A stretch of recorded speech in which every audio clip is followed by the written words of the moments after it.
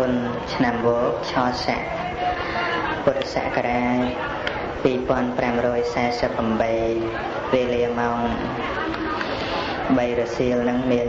ជួបជុំពុទ្ធបរិស័ទនៅគេហដ្ឋានឧបាសិកាជាអូដែលស្ថិតនៅក្នុងភូមិវាលឃុំវាលស្រុកកណ្ដៀងខេត្តពោធិ៍សាត់ ក្រមផ្សារក្បាលហុងក្បាលហុងទឹកចម្ងាយប្រហែលជា200ម៉ែត្រដោយមានជួបជុំពុទ្ធបរិស័ទនមស្ការបរតនត្រ័យសមាទាននៅនិច្ចសិលនិងស្ដាប់នៅប្រសងចម្រើនព្រះបរិត្តជាកម្មវិធីបន់ប្រពខួប7ថ្ងៃ នៃការអនិច្ចកម្មទៅនៃឧបាសកប៉ាន់សេងលីដែលត្រូវជាស្វាមីដែលត្រូវជាឪពុកដែលត្រូវជាជីតាណាដែលគាត់បានស្លាប់ទៅនៅក្នុងជនមាយុ72ឆ្នាំដោយរោគាពីណាឥឡូវនេះនេះយើងរក ធ្វើកម្មវិធីដោយតែបានរៀបរាប់ហ្នឹងហើយនឹងស្អែកនឹងប្រកេនជាគូចំពោះព្រះសង្ឃហើយថ្ងៃត្រង់ក៏វេផតតាហាចំពោះព្រះសង្ឃឧទ្ទិសបុណ្យកុសលជូនលោកអបាសកប៉ាន់សេលីអ្នកម្ចាស់ដើមបុណ្យហ្នឹងមានអបាសិកាជាអូតែត្រូវជាភរិយានៃសពលោកជឹងមេជឺនិងអ្នកស្រីសេងរ៉ានីព្រមទាំងបុត្រ លោកជឹងសុជាតិនិងភរិយាព្រមទាំងបុត្រកញ្ញាប៉ាន់រស្មីសោភា លោកប៉ាន់សម្បត្តិនិងភរិយាព្រមទាំងបុត្រណាខ្ញុំកណាសូមឱកាសអំពីកណាគ្រប់ព្រះអង្គនិងញាតិញោមដើម្បីសម្ដែងនៅប្រធัวតាមការគួរ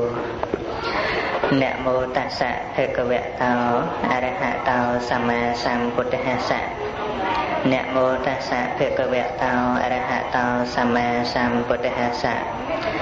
នមោតស្សៈភគវតោអរហតោសម្មាសម្ពុទ្ធស្សៈខ្ញុំព្រះអង្គសូមលើកកំបងអញ្ជលីនមស្ការថ្វាយបង្គំឧទ្ទិសដាវចំពោះគុណនៃព្រះអរហន្តមុនីសម្មាសម្ពុទ្ធព្រះអង្គនោះដោយសេចក្តីគោរពជ្រះថ្លាមួយលើដោយព្រះធម៌និងព្រះសង្ឃដោយសេចក្តីគោរព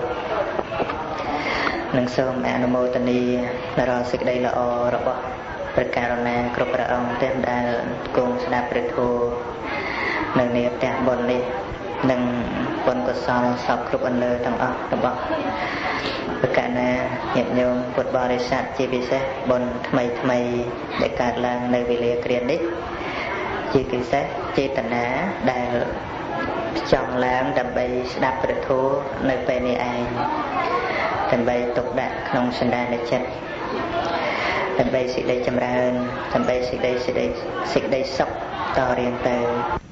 នៅក្នុងថ្ងៃនេះជាពិសេសញោមបាសិកាជាម្ចាស់ដើមបុណ្យរួមទាំងសាច់ញាតិជានិច្ចកាលវាលែងទៅពេលសម្រាប់សម្រានលងលក់ទៅដែលមិនបាននឹកទៅដល់ របាសកប៉ាន់សេលីដែលទៅតែចែកឋានថ្មីថ្មីនោះជាអារម្មណ៍មួយធ្វើឲ្យយើងទាំងអស់គ្នាជាសាច់ញាតិជាធម្មតាដែលធ្លាប់មានការស្និទ្ធស្នាលធ្លាប់មានការរួមរស់ជាមួយគ្នាមានការអលោះអាល័យ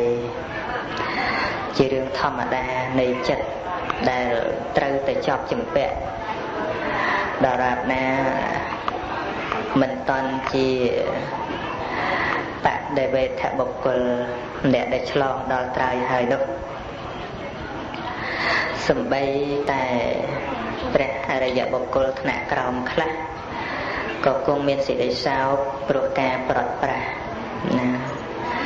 ក៏ប៉ុន្តែត្រង់ថាលោក មិនសោយសោករហូតដល់ភ្លេចស្មារតីហើយយើងទាំងអស់គ្នាក៏មិនមែនជាសត្វកំព្រីឥតមាន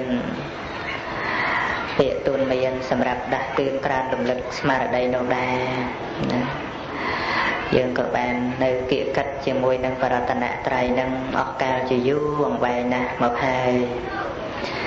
បើទុកជាមានសេចក្តីសោកមកគ្រប់សង្កត់ក៏វាអាច មានវេលាគ្រាខ្លះឧបនិស្ស័យអធិស្រ័យដែលធ្លាប់សន្សំក្នុងការពិចារណានៅសង្ខារធัว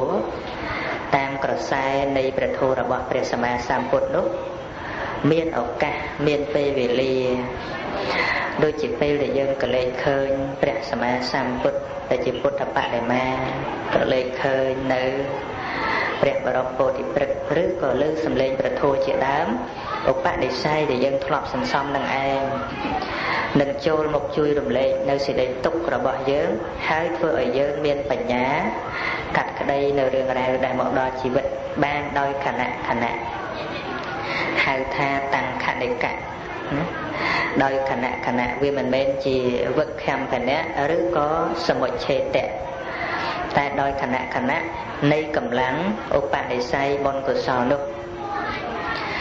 ដូច្នេះបុណ្យកុសលណាណាទាំងអស់ដែលយើងបានបំពេញមកតាំងពីយូរមកហើយនោះនៅតែតាមជួយថែរក្សាឃុំគ្រងប្រាជ្ញាស្មារតីរបស់យើងនឹងឯងឲ្យបានត្រជាក់ត្រជុំ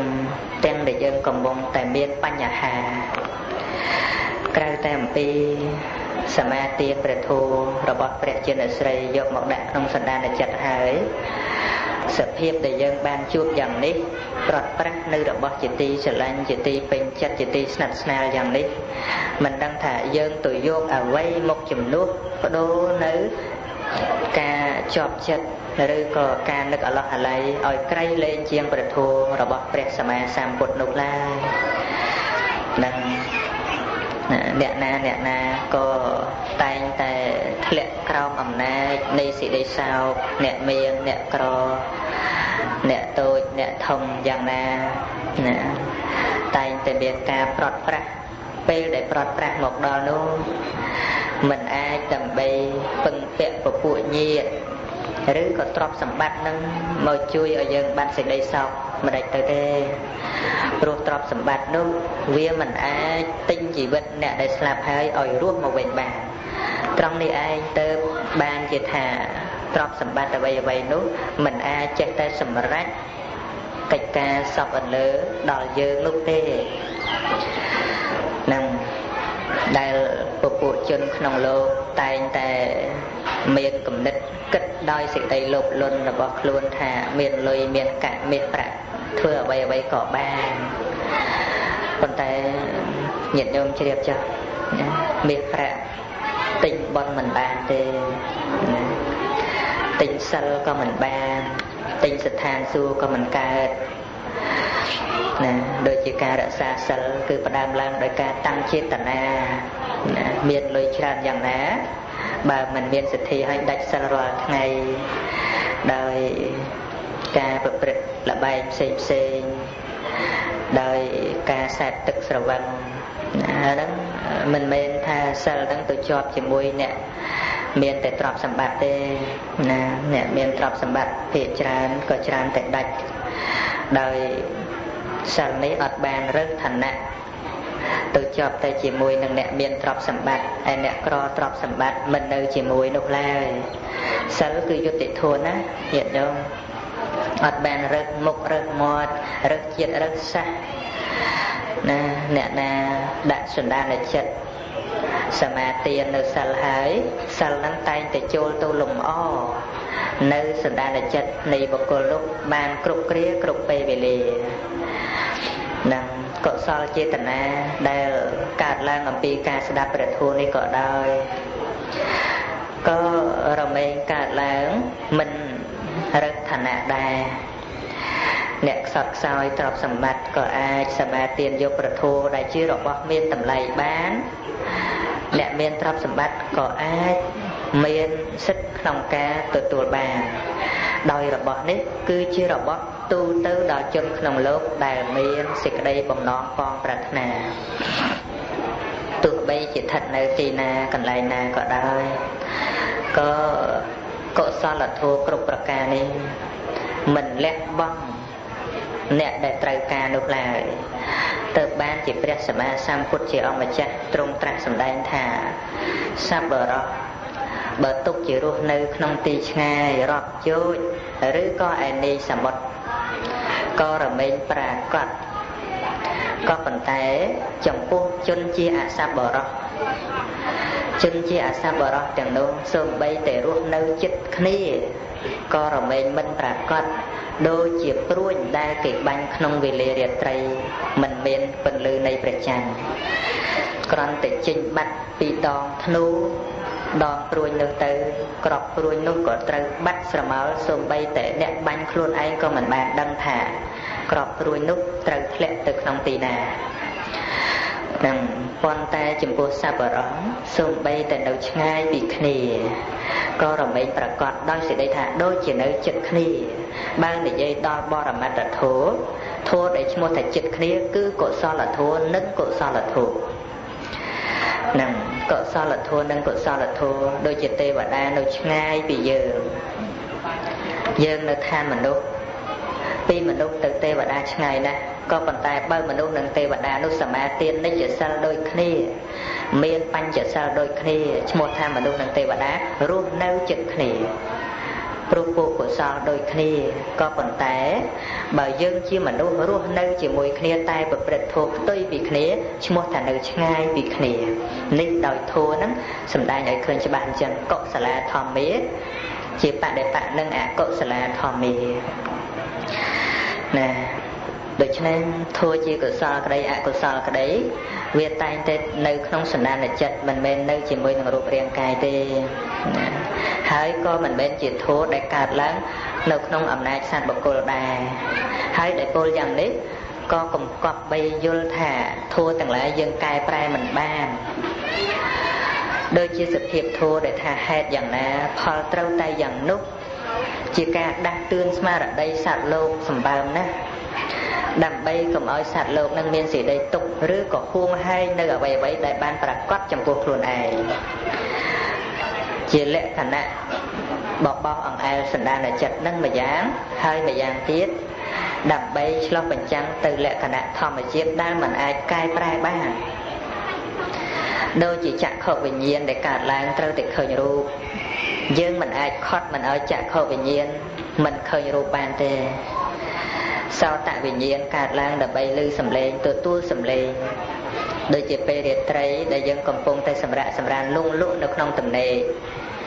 ស្រាប់តែលើក្ដុងក្ដាំងគេបាញ់កំភ្លើងអីណាក៏វាភ្ញាក់ទៅយើងអត់បានតាំងចិត្តថាចង់ឮសំឡេងកំភ្លើងទេប៉ុន្តែស្រាប់តែឮប៉ុន្តែឮជាវត្ថុធាតុមួយយ៉ាង ដែលកើតឡើងព្រោះភាសៈជាបច្ច័យព្រោះអារម្មណៈបច្ច័យសោតវិញ្ញាណធាតយាណាដោយអំណាចនៃសោតវិញ្ញាណហ្នឹងមានប្រកបណាក៏ប៉ុន្តែសេចក្តីទុកសេចក្តីសោកទាំងអស់នោះវាមិនមែនចូលមកដល់សន្តានចិត្តយើងព្រឹបតែម្ដងទេ អានឹងទៅបានជាយើងគួរឲ្យជ្រះថ្លារីករាយនឹងធម៌របស់ព្រះអង្គដែលព្រះអង្គបង្រៀនយើងឲ្យមានយោនិសោមនសិការៈសេចក្តីទុកសពគ្រប់ប្រការទាំងអស់ដែលយើងទទួលស្គាល់ថាវាលំបាកណាស់វាទុកណាស់វាព្រួយណាស់របស់ទាំងអស់នោះមិនមែនកើតព្រឹបជ្រាបមកក្នុងសន្តានចិត្តយើងតែម្ដងទេជារបស់ដាច់ដោយឡែកពីគ្នារបស់ណាដែលយើងទទួលស្គាល់ថាជារបស់សុខ នាំមកនៅសេចក្តីសុខនឹងក៏ដែរក៏មិនមែនដឹកបញ្ជូនសេចក្តីសុខនឹងមកចូលក្នុងសន្តានចិត្តយើងតែម្ដងទេរបស់ណាដែលជាអនិច្ចារម្មណ៍ដែលនាំមកនៅសេចក្តីទុក្ខកវល់កបែកចិត្តក៏ដែរក៏មិនមែនព្រឹកមកដឹកជញ្ជូននៅសេចក្តីទុក្ខមកឲ្យយើងទេ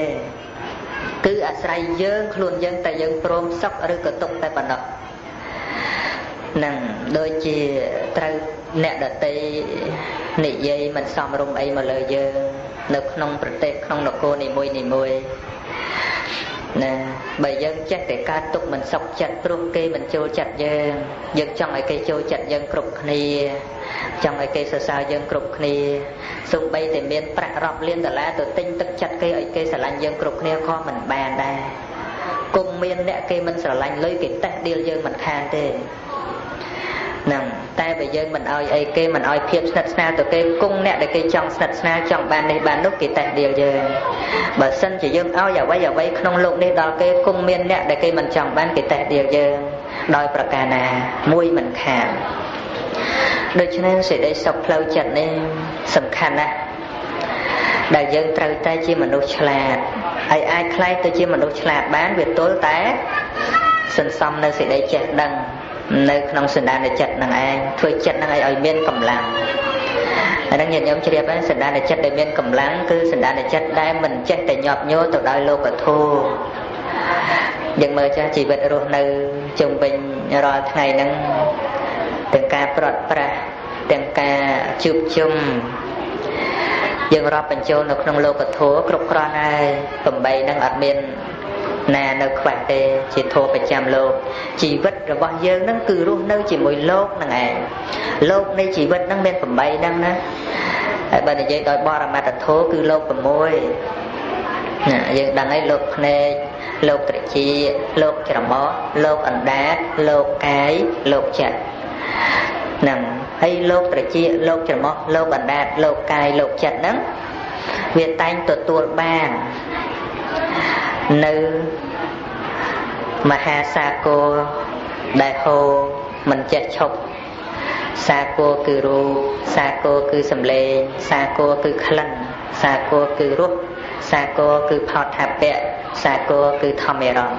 នេះទៅជាសមុទ្រដែលគួរឲ្យខ្លាចនឹងសង្សារវត្តហ្នឹងណាយើងនិយាយថាកើតចាស់ឈឺស្លាប់វិលវល់ក្នុងសារសង្សារវត្តហ្នឹង អាហ្នឹងក៏វាវារបៀបហ្នឹងហើយក៏ប៉ុន្តែសារគោលដ៏ពិតប្រកបនោះគឺសមុទ្ររូបសមុទ្រសម្លេងសមុទ្រក្លិនសមុទ្ររសសមុទ្រហត្ថពៈសមុទ្រ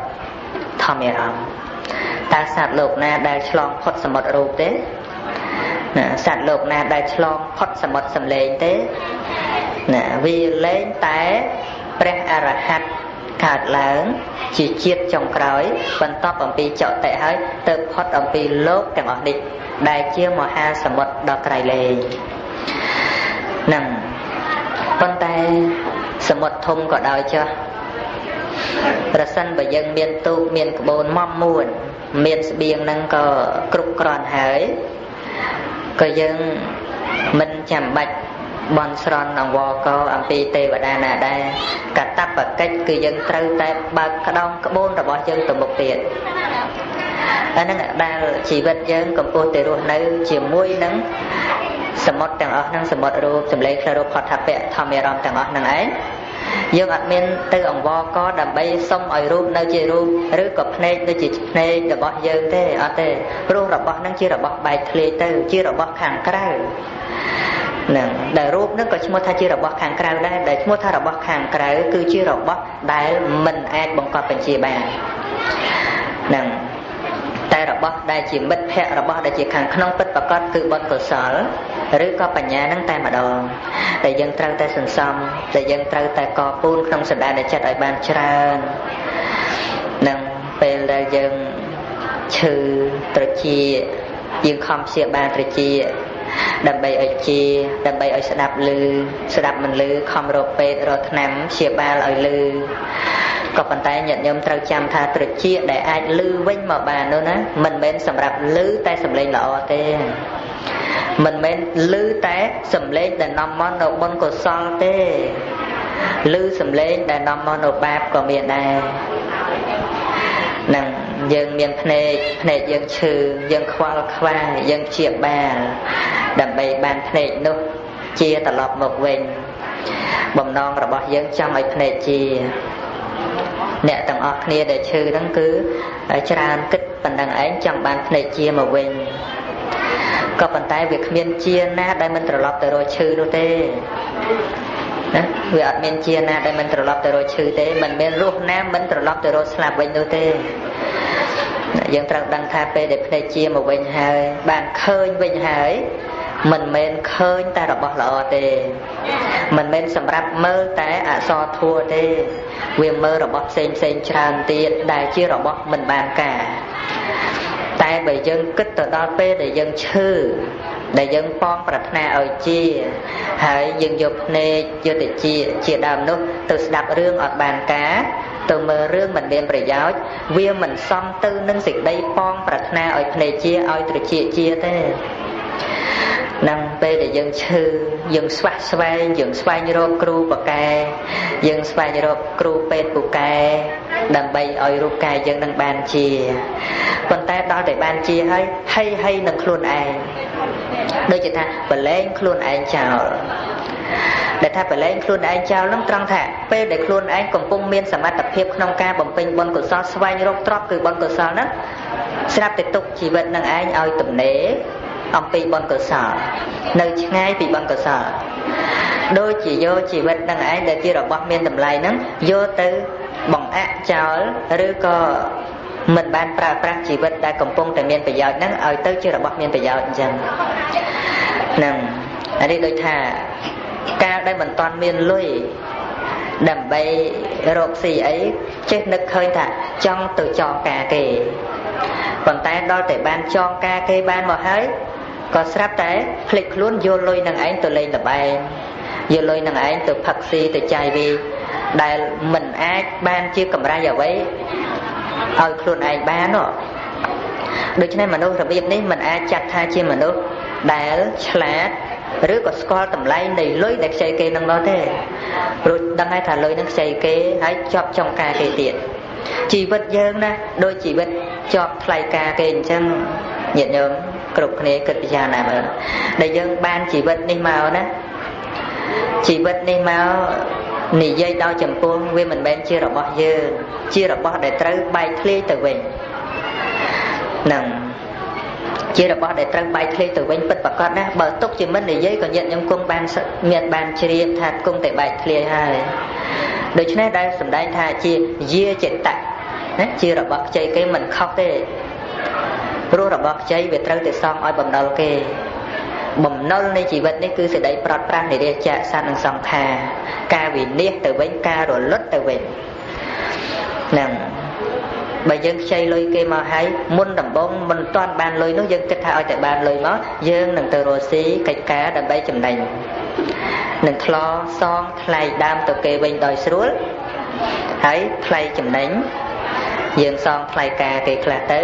នឹងបានមកជារបស់យើងតខ្លួនខ្លះអាហ្នឹងទៅជាបុគ្គលឆ្លាត ដែលបានទ្របគេមកហើយដែលទ្របឡើងថ្លៃការហ្នឹងការហ្នឹងវាឡើងតាមថ្ងៃណាញាតិញោមវាឡើងតាមថ្ងៃឧទាហរណ៍មួយខែត្រូវឡើងប្រហែលអញ្ចឹងជីវិតយើងមិនអញ្ចឹងពីមួយថ្ងៃទៅមួយថ្ងៃมันកាន់តែចាស់ចាស់ហ្នឹងដូចដូចជាប់ការគេរហូតអញ្ចឹងណាហើយបូកផ្សំនឹងបាបអកុសលដែលបានកើតឡើងផងអានឹងថ្លៃការមែនទេ ក្នុងជីវិតហ្នឹងបានជីវិតមកហើយវាសំដៅថាសម្រាប់អំពើល្អហើយដល់តែមកមកធ្វើអំពើអាក្រក់ជាមួយនឹងជីវិតដែលរស់នៅនេះគឺអានឹងថ្លៃការមិនដឹងសងពេលណារួចទៅទេណាអានឹងខ្មែរប្រៀបធៀបហ្នឹងញាតិញោមអាចស្ដាប់បានហើយជីវិតយើងដូចដូចខ្ចីលុយគេមកហើយបើខ្ចីលុយគេមកហើយវាមិនមែនអត់ប្រយោជន៍ទេអានេះយើងយើងក៏បីដឹងខ្លួនអញ្ចឹងណា បើទុកជាយើងមិនយល់លុយនឹងឯងទៅរស់ស៊ីយើងទុកវាទំនេរក៏អត់បានប្រយោជន៍ដែរអត់បានប្រយោជន៍ទេដល់ថ្ងៃត្រូវសងគេវិញបើគេចងការទៀតត្រូវឡើងថ្លៃការទៀតអញ្ចឹងអ្នកដែលមានបញ្ញាគេមិនទុកប្រាក់នឹងអត់អំពើទេត្រូវតែប្រកបមុខរបរដើម្បីទៅរកទទួលទាននឹងឯងបានចំណេញសងរបស់ដើមទៅគេវិញដោយមិនតឹងតែងទេចុះបើយកប្រាក់គេមកហើយ អត់បានប្រកបមុខរបរទេប្រកបមុខរបរក៏ប្រកបខុសនៅក្នុងរឿងអបាយមុខផ្សេងផ្សេងទៅខាតបងទៅ ដល់តែត្រូវគេមករឹបអូសយកទៅវិញតើត្រេកអររីករាយនឹងប្រគល់ឲ្យគេបានទេអត់បានជាដាច់ខាតដូចជីវិតដែលយើងបានមកនេះដែលយើងអត់បានបំពេញសេចក្តីល្អឲ្យបានគ្រប់គ្រាន់ឲ្យបានច្រើនហើយសន្សំនៅបាបអកុសលក្នុងជីវិតហ្នឹង ដល់សេចក្តីនិរាសសេចក្តីប្រត់ប្រាស់មកដល់ជាពិសេសគឺដង្ហើមចុងក្រោយ ដែលសេចក្តីវិន័យចូលមកកាត់ផ្ដាច់នោះពិតជាមិនអាចដើម្បីព្រមទទួលឲ្យម្ចាស់គេបាននោះទេព្រោះឃើញថានៅខ្វះខាតខ្វះខាតដោយអីដោយអំពើបាបអកុសល ដែលមកជានិមិត្តនាពេលចិត្តស្លាប់នោះឯងអញ្ចឹង សេចក្តីស្លាប់ដែលមកគម្រាមនោះដូចជាម្ចាស់ទ្រព្យដែលគេមករឹបអូសអញ្ចឹងឯងនឹងត្រូវសងគេមិនដឹងជាពេលណារួចណាបើមិនសងគេត្រូវគេចាប់ត្រូវគេចងអាហ្នឹងនៅក្នុងអិណសូត្រក៏ព្រះអង្គទ្រង់ត្រាស់សម្ដែងហើយណាដូច្នេះហើយយើងនៅមានជីវិតនេះរស់នៅសពថ្ងៃនេះយើងសប្បាយរីករាយនៅពេលដែលជួបនឹងអត្ថអារម្មណ៍ផ្សេងផ្សេង ហើយក្នុងថ្ងៃដែលយើងរស់នៅនឹងមានថ្ងៃមួយចំនួនគឺយើងឈឺឈឺណាឈឺនឹងទៅដឹងថាដៃជើងអវយវៈភ្នែកតិចច្រមុះជាដើមនឹងមានតម្លៃហ៎មានតម្លៃមែនទេនៅពេលដែលយើងឈឺទៅយើងដឹងថារបស់ទាំងអស់នឹងមានតម្លៃនឹង មានតម្លៃហើយតម្លៃហ្នឹងមិនមែនស្មើត្រឹមតែបានភ្នែកនឹងហើយជាពីជំងឺវិញហើយនៅបដែតបដោយជីវិតនឹងទេជីវិតនេះខ្លីណាស់បើនិយាយពីពេលវេលាកាន់តែធ្វើឲ្យយើងនឹងព្រឺខ្លាចមិនអាចមានអីជាទីពឹងពិតប្រកបទេណាឧបនិយតៈលោកោ អត្ថវោដោយវាមិនទៀងត្រូវជារៀននឹងឯងនាំចូលទៅកាន់សេចក្តីស្លាប់ណាគ្រប់គ្នាវាអញ្ចឹងជាធម្មនិយមជានិយមរបស់ធម្មជាតិណាអត់មានអ្វីជាទីពឹងពិតប្រកបទេអត្តាណោលោកោអនភិសរោពេលឈឺឈឺតែឯង ពេលស្លាប់ក៏ស្លាប់តែឯងញាតមិត្តបានសែងអំពីផ្ទះទៅក៏មិនបានដឹងណាមិនចាំបាច់ដល់ពេលស្លាប់ទេយើងគិតតែពេលឈឺអ្នកណាដែលមកឈឺជំនួសយើងបាន យើងឈឺថ្មិញកូនក៏មិនឈឺជំនួសយើងបានឈឺភ្នែកញាតក៏មិនជួយឈឺយើងបាននឹងឯងដែលអត់មានជាអិសរៈអីទេដែលយើងទទួលស្គាល់តែយើងមានញាតច្រើនយើងមានបរិវារច្រើនមានគេរាប់អានច្រើនហ្នឹងវាមានប្រយោជន៍តែត្រង់ដែលយើងប្រកាន់តែប៉ុណ្ណោះយើងចូលតែប៉ុណ្ណោះហើយដែលយើងថាយើងវាវាអស្ចារ្យយើងវាក្រាន់បើយើងវាប្រសើរជាងអ្នកដតីអីសពគ្រប់ពេលដែលគេរាប់អានពេលដែលគេតាក់ទងពេលដែលគេអីលើកសរសើរអីសពគ្រប់ហើយអាហ្នឹងដែលថាមានប្រយោជន៍នឹងត្រង់ណាត្រង់ដែលខ្លួនឯងជាមនុស្សចូលតែប៉ុណ្្នឹងឯងយើងវាចូលវាបានចិត្តណាមនុស្សបានចិត្តយើងដឹងគឺទៅចូលទៅចូលហើយសម្គាល់តែខ្លួនឯងហ្នឹងវាអស់ចាឥឡូវធ្លាក់តែខ្លួនឈឺក្រឹបណាញាតបរិវារហ្នឹងយ៉ាងច្រើនគ្រាន់បានឈួរមើលណាបានឈួរមើលបានណា ស្រែកថាអាណិតណាស់អីអញ្ចឹងប៉ុន្តែពាក្យអាណិតហ្នឹងមានបើបានជួយបំបោះអង្អែលការឈឺចុកចាប់ក្នុងរាងកាយយើងបានទេណាអត់ទេគ្រប់គ្នាអញ្ចឹងយើងមើលចុះអ្នកអស្ចារ្យអ្នកមានឋានៈយុសាអីយ៉ាងម៉េចត្រូវតែម្នាក់ឯងម្នាក់ឯងមែនអញ្ចឹងទៅណាពធហ្នឹងមិនមែនសំដែងចេតថាឲ្យវាអត់មានពិតទេញាតិញោមពិចារណាមើលចុះវាអញ្ចឹង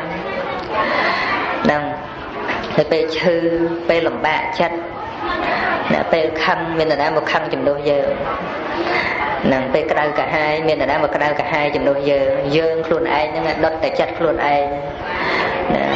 រឿងដែលយើងខឹងវានៅតែរឿងផ្សេងដែលពុទ្ធហੰតហមមសង្ឃហੰ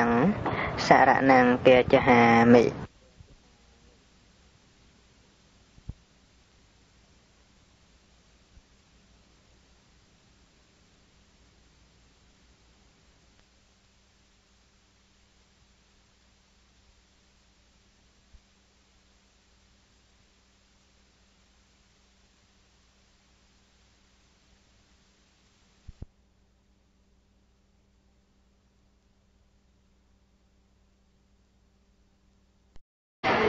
សម្ដែងនៅប្រធัวតាមការគួរនមោតស្សៈភគវៈតោអរហតោសម្មាសម្ពុទ្ធស្សៈនមោតស្សៈភគវៈតោអរហតោសម្មាសម្ពុទ្ធស្សៈ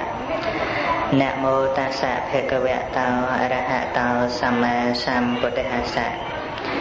ខ្ញុំព្រះអង្គសូមលើកកំបងអញ្ជលីនមស្ការថ្វាយបង្គំឧទ្ទិសដើមចំពោះគុណនៃព្រះអរហន្តមុនីសម្មាសម្ពុទ្ធព្រះអង្គនោះដោយសេចក្តីគោរពជ្រះថ្លាមួយលើដោយព្រះធម៌និងព្រះសង្ឃដោយសេចក្តីគោរពនឹងសូមអនុមោទនារាល់សេចក្តីល្អរបស់ហើយនឹងស្អែកនិងប្រគេនជាគូចំពោះព្រះសង្ឃ ហើយថ្ងៃត្រង់ក៏វេផតតាហាចំពោះព្រះសង្ឃឧទ្ទិសបុណ្យកុសលជូនលោកអបាសកបានសីលីអ្នកម្ចាស់ដើមបុណ្យហ្នឹងមានអបាសិកាជាឧបតែត្រូវជាភរិយានៃសពលោកជឹងមេជឺនិងអ្នកស្រីសេងរ៉ានីព្រមទាំងបុត្រ លោកជឹងសុជាតិនិងភរិយាព្រមទាំងបុត្រកញ្ញាប៉ាន់រស្មីសោភា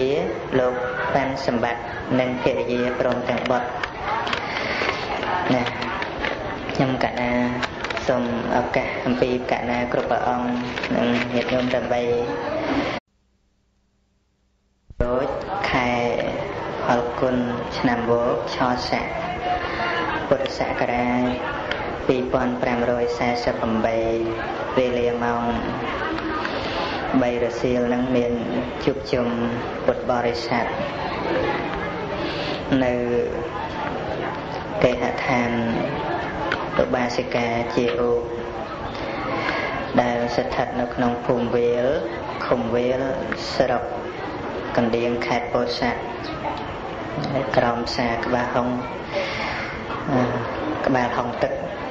ចម្ងាយប្រហែលជា200ម៉ែត្រដោយមានជួបជុំពុទ្ធបរិស័ទនមស្ការបរតនត្រ័យសមាទាននៅនិច្ចសិលនិងស្ដាប់នៅប្រសងចម្រើនព្រះបរិត្តជាកម្មវិធីបន់ប្រពខួប7ថ្ងៃនៃការអនិច្ចកម្មទៅនៃឧបាសកប៉ាន់សេងលីដែលត្រូវជា ស្វាមីដែលត្រូវជាឪពុកដែលត្រូវជាជីតាណាដែលគាត់បានស្លាប់ទៅនៅក្នុងជនមាយុ72ឆ្នាំដោយរោគគាពីណាឥឡូវនេះនេះយើងរោគធ្វើកម្មវិធីដោយដែលបានរៀបរាប់ហ្នឹងព្រះករុណាគ្រប់ព្រះអង្គទាំងដែលគង់ស្ដាប់ព្រះធម៌នៅនាផ្ទះបុណ្យនេះ និងបុណ្យកុសលសពគ្រប់អន្លើទាំងអស់របស់